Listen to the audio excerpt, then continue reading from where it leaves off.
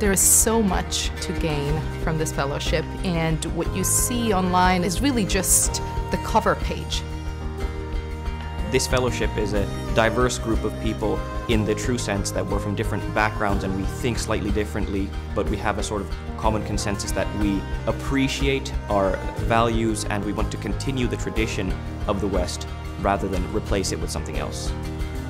I will definitely take with me the friendships, the network I made, the connections between each other, and to be very honest, uh, the most important for me are the conversations during lunch, uh, dinners, and uh, everything that is actually happening in the background.